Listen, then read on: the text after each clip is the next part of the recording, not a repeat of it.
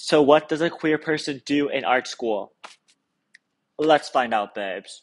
It started on Monday when I thought I was gonna be mysterious and cute in the library, but I ended up just looking like a dumbass because I was not being productive at all. But the next day, y'all, I got some work done. I got some cellophane sheets of plastic out and I wanted to redo a previous project I had done. This is like a cellophane sculpture type vibe. I'm using oil paint.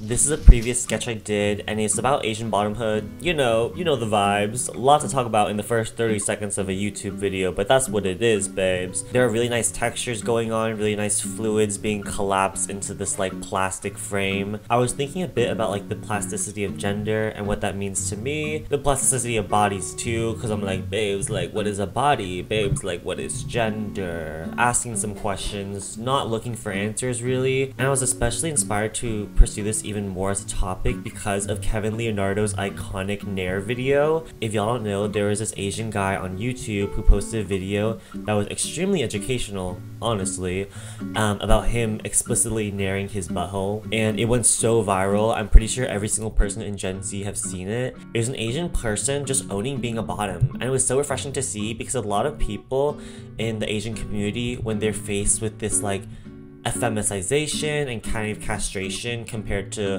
white counterparts um, like to remasculinize themselves by going to the gym, getting bigger, and etc. But Kevin just owned it. She owned it, babes. I don't really know Kevin's beliefs, attitudes, or background and anything else except for that video. But looking at that incident alone, I was just like, amazed. And it was done in like almost an empowering way because it was framed educationally. Anyways, for this art piece, I was taking the idea of castration for Asian men and oil painting on plastic sheets so that I could print make and every time I made an addition, the oil paint would slowly kind of fade away into the cellophane yellow frame. So in this way, it was like symbolically annihilated, quote unquote, which just means that like it's not there anymore. Like the PP is gone, the PP went away, and this would look like in the end. I was pretty happy with it, but we'll see where it goes.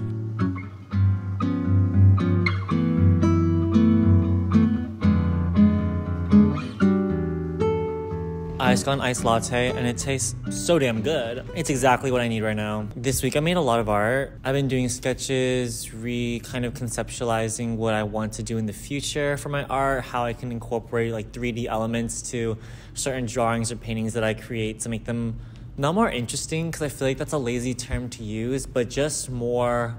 Uh, just more something, y'all. As much as I want to experiment with different techniques in painting, I'm realizing that you can only do so much in a rectangle. And while I'm trying to play with the borders to be part of kind of the content of each piece, of cartoon character feeling contained, of the body restraint to this canvas, I want to break out of that soon because it's just getting boring, babes. Like every time I make a new art piece, which has been like a lot lately because drawings are very quick and intuitive, I just pull out another damn rectangle and I'm like, what the fuck am I doing with this damn rectangle? Like, why is this not a fun little shape? And so I'm gonna try to create those shapes myself. I'm trying to think more of like Sarah Sze, who incorporates these large, very precarious looking structures in her work. And she most recently had a solo show at the Guggenheim. I wish I got to see in person, but I'm in LA and that's in New York, so I didn't. But it's just like a vibration, babe. It's just a fucking vibration. Also, in more news, I realized that I'm literally incompetent and lazy. I hate being unproductive and I haven't been running these past couple weeks. I haven't been reading as much as I want to. I've been watching TV shows and every single time I eat, I just need a damn motherfucking TV show to play so I can just start munching. If I don't have something going on in the background, whether it's Trisha Paytas's podcast, Channel Mojo's podcast.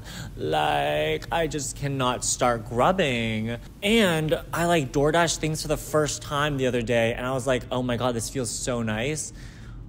It's really expensive, but I didn't realize how nice it was because people always like, oh my god, like I just be door dashing things and da da da da. And I'm like, babes, like, why would you do that?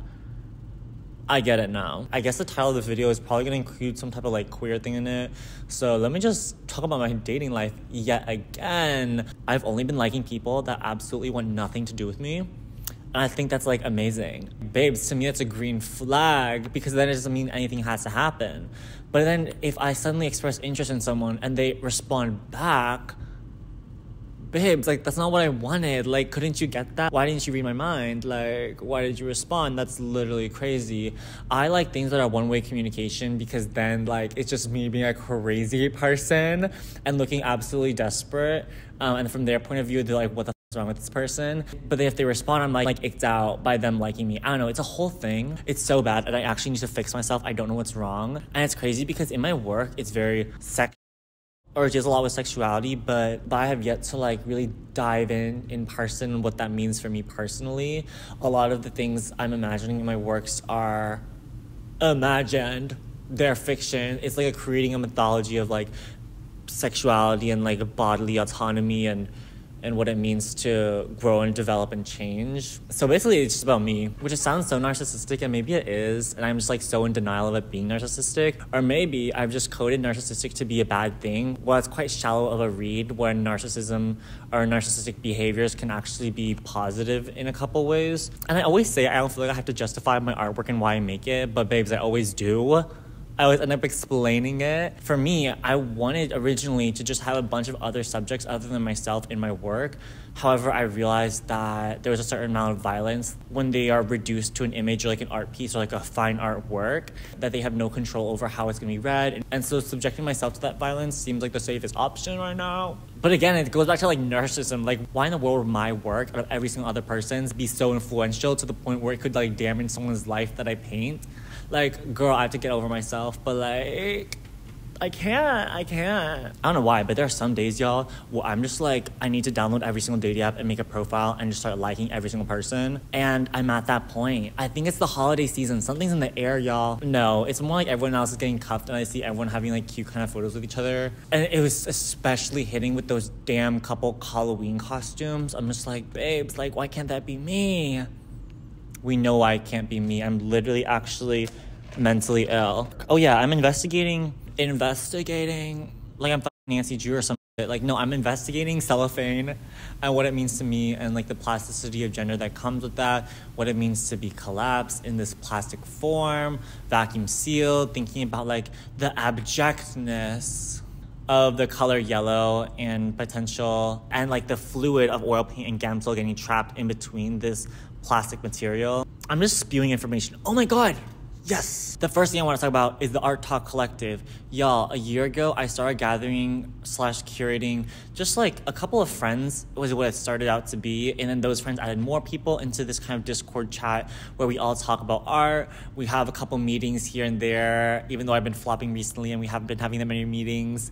But it was supposed to just build community within a group of creators on social media who share a similar passion for the arts and creativity because girl this shit is isolating. So i created this group chat. We had a project called the traveling sketchbook which is still in progress like which is still getting shipped around. I'm trying to organize a magazine and a website where all of our profiles can be added and our work can be curated and published and sent out to different galleries. Because a big part of the art talk collective is that as social media artists we're often reduced to this unseriousness in the work because we're explicitly tied to reproduction and commodification, and that's seen as a bad thing in the art world because it inherently goes against the exclusive mentality of white wall galleries. And so when we do try to push our work in these spaces that are very institutional, it gets hairy. I'm trying to organize a bunch of random stuff that has us be taken more seriously without compromising our own abilities. It's just more of like a y'all couldn't see the talent that was behind each person, but we have messages and stories to tell that are as important as the people who traditionally went to art school and got their MFA at Yale and then did residencies at the Met, at MoCA, and da da da da. It's exciting, but also I've been so inconsistent with it, so I feel really bad about everyone who kind of kind of not relying on me but I guess because I started it, like they're kind of relying on me to organize and mobilize, but I just haven't been doing that. It's just a very big learning curve on how to build community, and so I'm trying to like practice that in this art talk collective. That's it, babes. Oh my god, another thing, another fucking thing. The last thing I'm gonna talk about in this clip, I know it's a long ass clip. I've been trying to start a shop. So if y'all don't know, I have a website, brettpaint.net at first I wanted .com, but honestly .net is kind of like a vibration, babes. Like I kind of love it. Anyways, on the site I'm trying to add a storefront where I sell original drawings and these are very simple drawings that I'm selling hopefully for like 20 bucks and just getting it in the hands of people who want to purchase my work because I've actually never really opened a storefront. Like I've tried to in the past and it kind of worked, but not really. Oh my God, what I really want to do is I want to give everyone two pieces secretly. Y'all will know the vibe. The one they purchased from the storefront, and I'm gonna throw in something extra, and it, on the back of it will say, give this to a special person in your life. And so in that way, I'm like throwing off the value of things because if I say this art piece is worth $20, all of a sudden you get it in your hands and it's $20. But if you get the art piece from someone close to you being like, oh wow, this artist gave it to me and wanted me to give this to someone else, and out of all the people I have in my life, I chose you, suddenly that piece is not worth $20. That piece is imbued with a certain amount of energy from the person that they received it from. And that object enters a realm of outside commodity almost. When they say friendship is magic in My Little Pony, I literally think they mean it because friendship literally is fucking magic. And this isn't like a completely original idea. I was first inspired to do this by an artist named Dayanita Singh. She makes these mini galleries that are in book format, and she's like, okay, I'm gonna give 10 books to a person, and they have to give nine of those books to other people. And then that way, she's like, there's a totally different value of the art piece, and it exists outside the art world market. And then people, if they want to resell the book, because they can do whatever they want with it, like they could feel weird because they're like got it as a gift, and like, why are you selling a gift? Anyways, those are the thoughts in my brain. Um, I'm gonna, what am I gonna do right now? I don't know. I'm probably gonna paint. Yeah, I'm gonna paint right now. I will see y'all very soon. Yeah. Okay. Bye bye. Hello, everyone. Is it going? Oh, yeah. 30 seconds in. Um, hello, everyone. I'm here with. Angelo Lontok, or if you're pronouncing it right, it's Lontok. We're in Angelo's studio. Do you want to give a studio tour, Angelo? You can grab the mic now. Uh, sure. I have two done paintings and one that's like third of the way there. This one. I also brought this one in today. They're supposed to like go together conceptually, and I just want to like have this as like reference so I can like as I'm working on this, I also want to like reference this. They're also the same size, which was on purpose. And then move out of the way. Yes, get out, get out, get out. Oh, you knocked over my water. It's okay. It's okay. Do you help with this one? Sure, yeah. So we're gonna unveil Angelo's third piece. Yes. So here it is. This is what I've been working on for like two months. Um, it's a little floppy right now. I I'm like collaging like pieces of canvas together. There's like glue as backing, and then like also like pins for like general placement. I want it to have like kind of loose, but I need to sew it, and I don't want to sew it just yet because I want to work on my other paintings. Now we're gonna sit down and ask rapid fire question. The first question: Gay son or thought daughter? Thought daughter. Why? I don't believe in gay sons. Oh my god. Now rate me out of ten, personality wise. Personality, Three. Three. So mean, so rude. Not a single ounce of positivity in your body. You just gave me a three. Yeah. So how am I being the negative one? Now look at you being all defensive. Now rate me based on looks. Two. How sexy I am. One. This is not okay. Now should I rate you? Personality, I'd say maybe actually it's a seven, but then the times I saw you doing your accent, it was a five. It dropped to a five. He starts doing this accent. Oh yeah, it's because um, this past summer I watched Derry Girls on Netflix, and I was so obsessed with the accent. With oh my, I haven't done my Irish accent in a minute. I- Like I'm like slipping out of it. Wait, I need to like. I don't understand what's your problem with my Irish ac- accent. How is it that people like you are so discriminatory to Irish people like me? So there it is. Out of all my art pieces, which one did you hate the most recently? This isn't like about the quality of it, more like my ability to consume it. But your performance pieces, when it was in your show, it's like I appreciate it from an artistic POV, but also I can't watch it. Yeah. You know, you know what I mean? I know what you mean. Wait, like it's like uncomfortable or like you just couldn't watch it? Uncomfortable. Really? I thought people were just laughing at me. I think it's because I know you that like I. It's like a weird like like I know that you're the one who like made it and you're the one who like put it out there, but at the same time there's like a level of like voyeurism where it's like I, it feels illegal that I should be uh, that like I'm in a space where I can even watch that. Okay, so which one did you hate? I think your earlier pieces are weaker. At least my opinion. I can't really explain why. I'm just like more visually drawn to like your more recent. Ones of that category. Like when I first introduced the cartoon character, or like the earlier, as in like last semester when I was doing more realism. Like I, I'm ignoring. I'm ignoring your realism ones Got you. for this comparison. I'm just saying that like attempts to like break off of realism versus your more recent ones. Okay. Wait, I love that. That's what I improved. Oh, favorite artist you're looking at right now? Do we, are we still recording? Oh yeah. Favorite like art piece or like animation or anime or cartoon series or just like any form of art that you've been like obsessed with recently? I mean, not from like an artistic POV, but the closest thing is like I've been watching Adventure Time. Oh my god, yeah, like the Fiona and Cake.